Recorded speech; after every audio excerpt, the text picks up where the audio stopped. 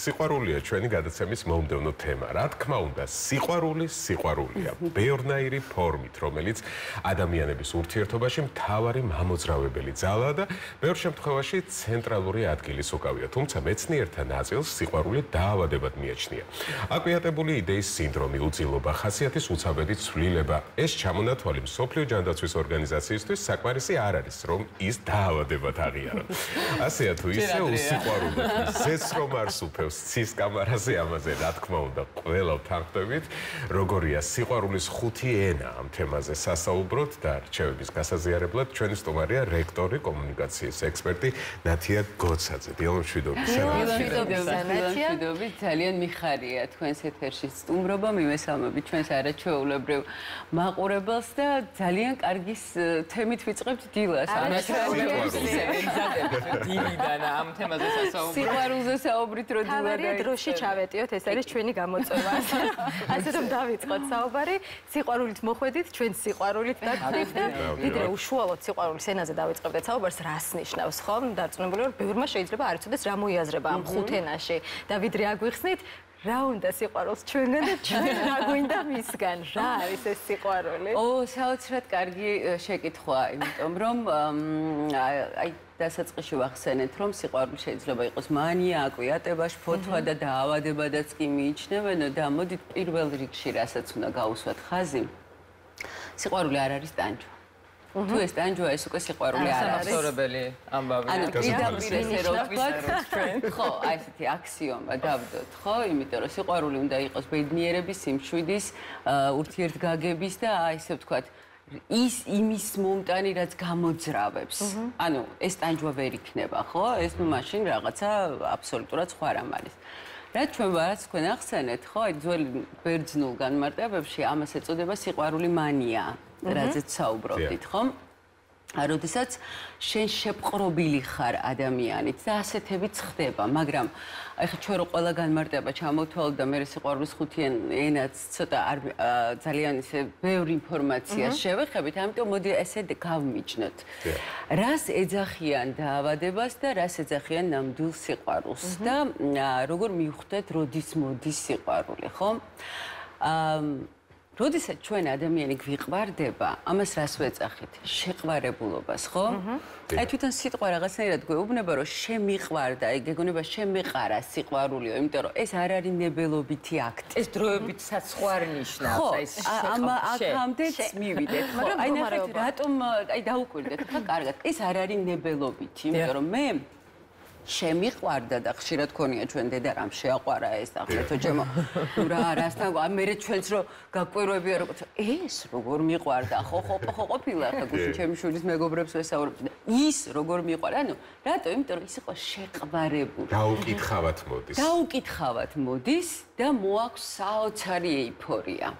ანუ ნახეთ ეს არის ემოციების მწვერვალი რომელიც დროსაც შენ აბსოლუტურად დაბინდული გაგრაციო და წინ მოდის სრულად შენი ემოცია. აი ეს პერიოდია, როდესაც მუცელში პეპლები თავში ჩიტები, რა ვიცი, ყველგან რაღაც, ყველაფერი სხვა ფერია. აი რასაც მაგალითად სტენდალი ეძახის კრისტალიზაციას, ხო? აი სტენდალი როცა აღწერს სიყვარულის ფაზებს, ამბობს, რომ ეს არის კრისტალიზაციის პროცესი, როდესაც შე რაღაცა მოჭვილი ყავს ეს ადამიანი და ფაქტობრივად ის ადამიანი კი არ გიყვარს, გიყვარს ის, ვინც შენ დაინახე მასში. აჰა. როგორც ამბობენ შენი თავი, შენი თავი მის გვერდით, ხო?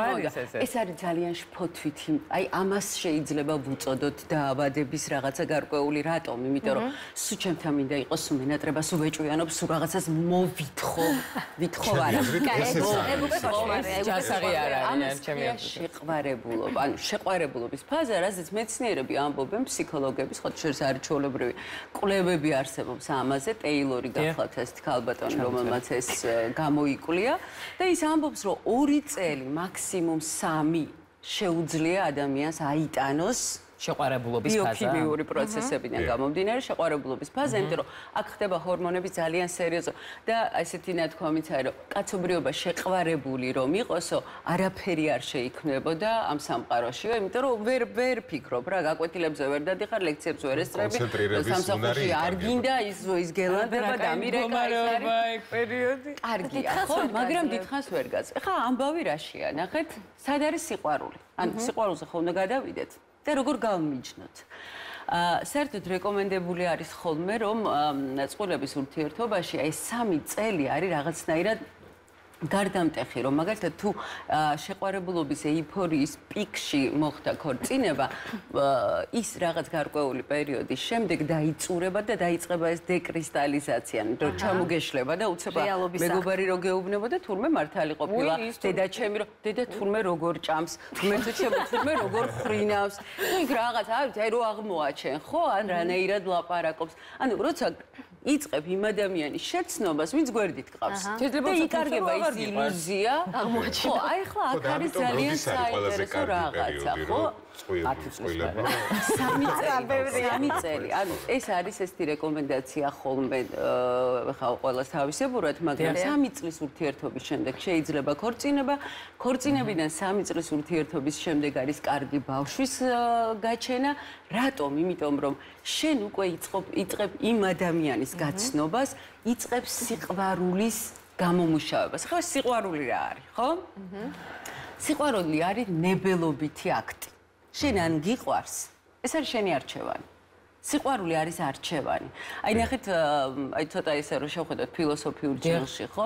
პირობითად გიყვარდეს მტერი შენი. როგორ უნდა გიყვარდეს ხა? თავის თხარ შეგეყრება ეს ამბავი, ხო?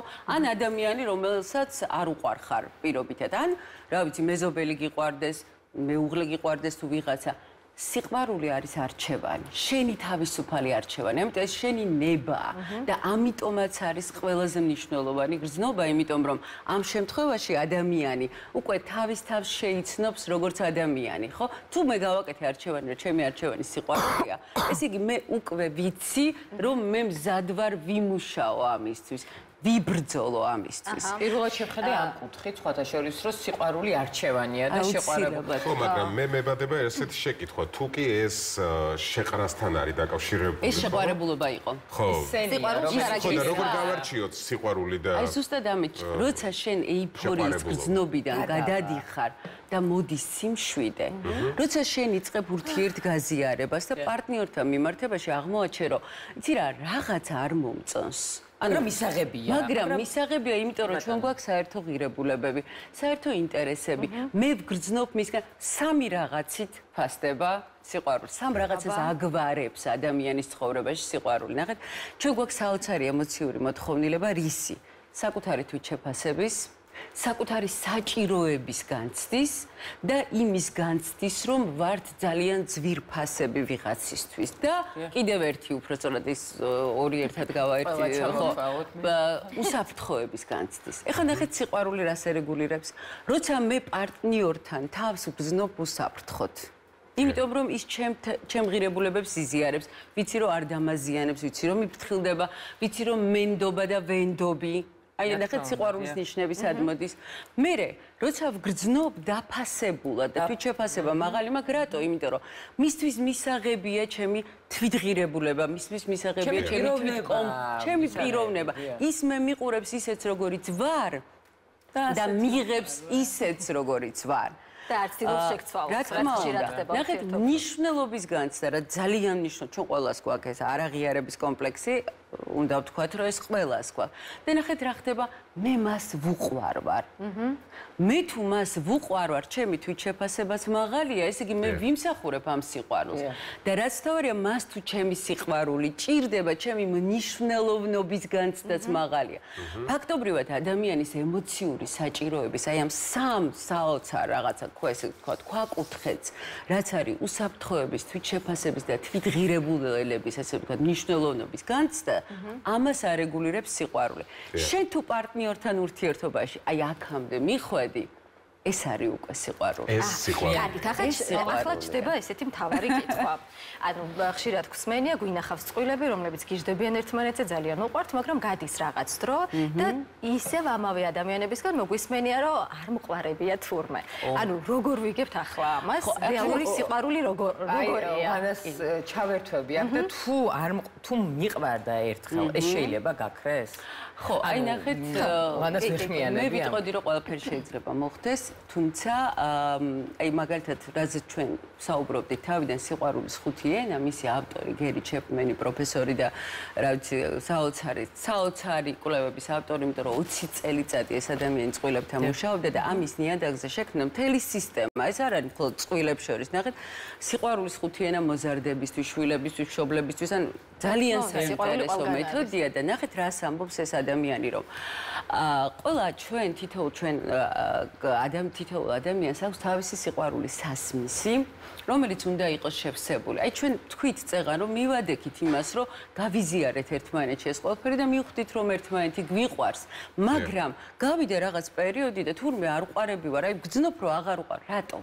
იმიტომ რომ ჩემი სიყვარულის სასმისი დაცარიელდა და რატომ დაცარიელდა? ნახეთ, აი ძალიან ისე რომ კომპაქტურად ჩავატიოთ ხა ეს ამბავი.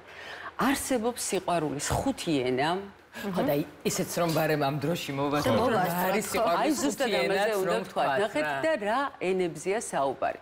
ადამიანებს აქვთ თავიანთი გამოხატვის და მიღების მოთხოვნილება. აი ენას რატო არქმევს ხო? მაგალითად ჩემი მოთხოვნილება არის დრო. სიყვარულის ენა დავარქოთ ნუ დრო. რას ნიშნავს ეს რომ მე მჭირდება რომ ჩემ გვერდით იყოს ადამიანი? ანუ მე მაშინ გრძნობ მისგან სიყვარულს თუ ის დიდ დროს ატარებს ჩემთან ერთად არ არ გძნობ მაშინ თუ კი პირობითად აი მეორე ენა არის საჩუქრები ხო მოდი საჩუქრებით დახუნთლული რაღაცა ერთი კვირა დაიკარგება ერთი კვირა საჩუქრებით მე საჩუქრებით აკომპენსირებ არ არის საჩუქარი მესამე ენა ეს არის ჩახუტება ანუ ფიზიკური ფიზიკური შეხება აქ არ არის მაინდა-მაინც ინტიმურზე საუბარი უბრალოდ როცა ორ ადამიანს აი მოთხოვნილება აქვს რომ ხელი მომხვიოს ჩამეხუტოს ხელი მომკიდოს რაღაცა არ ვიცი რაღაცა აი ეს ეს არის ჩემი მოთხოვნილება. შემდეგი ენა ეს არის სამსახურის გაწევა. ნახეთ რას ნიშნავს ეს მომსახუროს არა გააკეთოს ის რაც გამახარებს. აი მაგალითად თუ მან იცის რომ მე სახში რომ მოვდივარ ძალიან მაღიზიანებს თუ რაღაცა არეული მხდება პირობითად ხო? აი იმ რაღაცაზე გააკეთოს ფოკუსირება და მე ამით ვიგრძნობ რომ მას ვუყვარ შეგეხიდოს. და ბოლო და ძალიან მნიშვნელოვანი ეს არის საქებარი სიტყვები როცა ჩემი ენა არის სიტყვები ბატონო რაც არ უნდა საჩუქრები მომიტანონ, რაც არ უნდა სახლი დაალაგებული დამახვედრო, რაც არ უნდა რა ვიცი დრო გაატარო.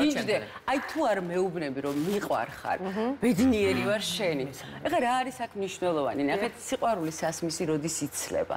როცა ადამიანებმა ვერ ამოიცნეს ერთმანეთის ენა და ყველა თავისას უბერავს ის პირველი დროი აი ერთი წვილის ამბავს და უცებ მიხვდებით რას გულისხმობ რომ ერთ-ერთი წვილი რომელიც ძალიან სერიოზული პრობლემით აი უკვე აღარ გვიყვარს ერთმანეთი. აი წლების მერე აღარ გვიყვარს ერთმანეთი და პრობლემა დგას და უცებ ხდება ასეთი რაღაცა რომ ეს კაცი ამბობს რომ აი აღარ ვიცი რა გავაკეთო მომდივარ ბახში ფუსფუსებ იმას ვუკეთებ ამას უკეთებ ასე ვშვები, ისე ვშვები და ეს მაინც უკმაყოფილოა.